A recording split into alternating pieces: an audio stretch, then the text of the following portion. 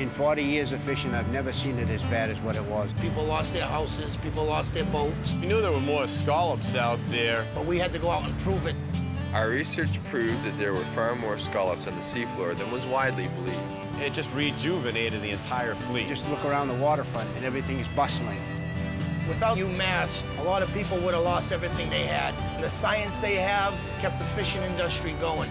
We feel like we have the University of Massachusetts on our side.